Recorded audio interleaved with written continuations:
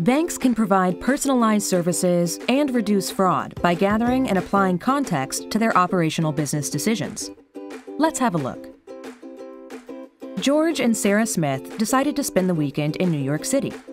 On the way to the hotel, George checks their account using the bank's mobile app. The app displays his balance and features an offer for a Broadway show.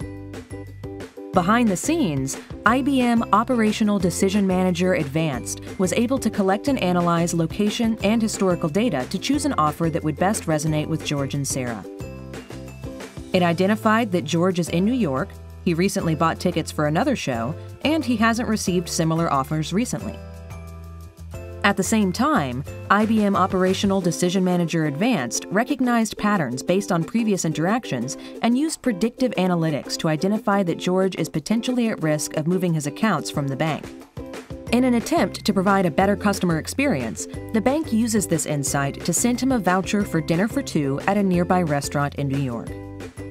While George and Sarah are at the show, an identity thief attempts to withdraw cash from an ATM in Los Angeles using a copy of George's card.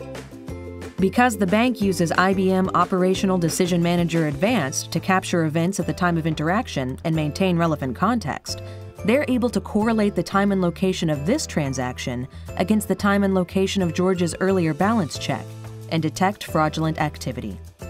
A text message warning of suspicious activity and requesting review and validation is automatically generated and sent to George's mobile.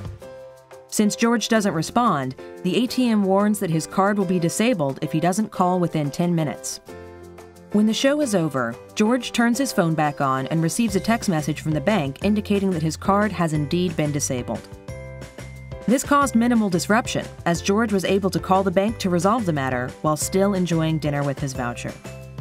IBM Operational Decision Manager Advanced dynamically monitors transactions in real time, gathering data in motion at the time of interaction and using that data to build and maintain relevant context.